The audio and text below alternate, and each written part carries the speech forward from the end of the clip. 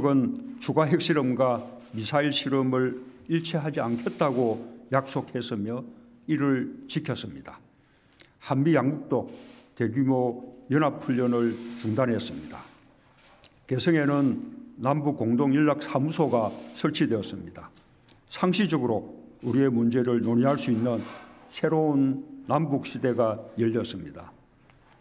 너무나 꿈 같은 일이지만 우리 눈앞에서 분명히 이행되고 있는 일들입니다.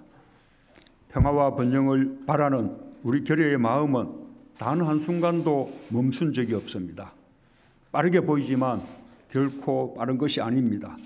이러한 일들은 오랫동안 바라고 오래도록 준비해온 끝에 오늘 우리 앞에 펼쳐지고 있는 것입니다. 하나로 모인 8천만 계려의 마음이 평화의 길을 열어냈습니다. 우리는 우리가 만들어낸 이 길을 완전한 비핵화를 완성해 가며 예실 있게 실천해 가야 할 것입니다.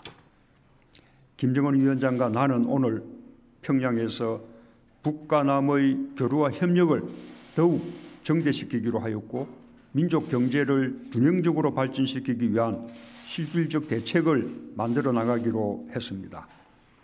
남과 북은 올해 안에 동서해선 철도와 도로 연결을 위한 착공식을 가질 것입니다.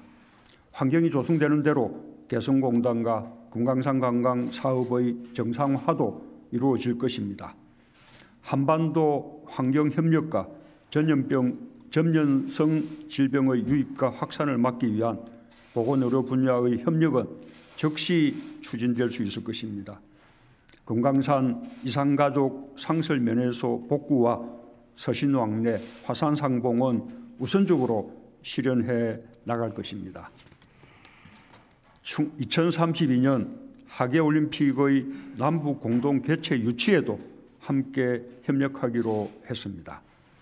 3.1운동 100주년 공동 행사를 위한 구체적 준비도 시작하기로 했습니다. 10월이 되면 평양예술단이 서울에 옵니다. 가을이 왔다 공연으로 남과 북 사이가 더욱 가까워질 것입니다.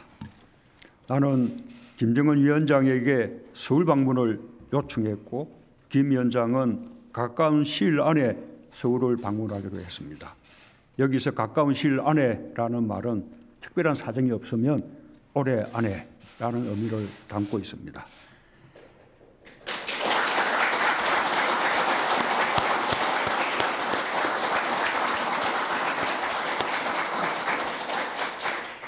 김 위원장의 서울 방문은 최초의 북측 최고 지도자의 방문이 될 것이며 남북 관계의 획기적 전기가 마련될 것입니다.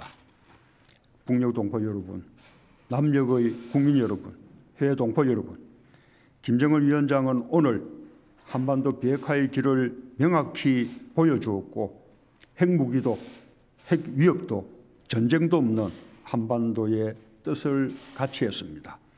온 결여와 세계의 여망에 부응했습니다. 김정은 위원장의 결단과 실행에 깊은 경의를 표합니다.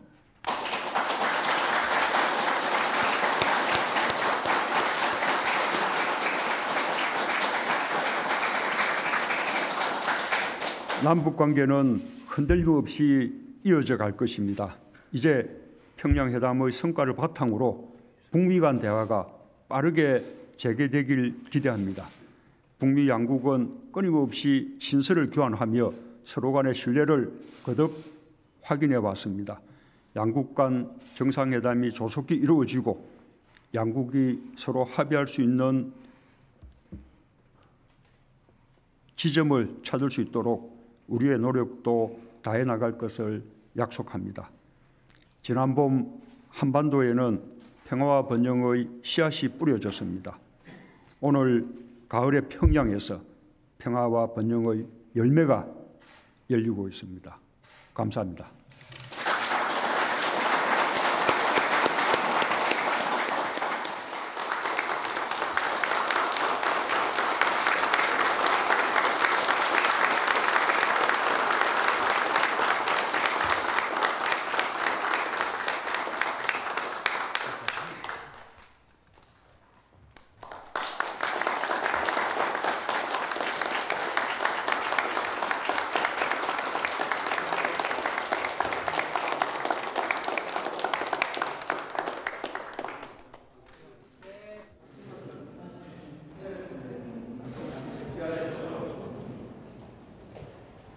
We show.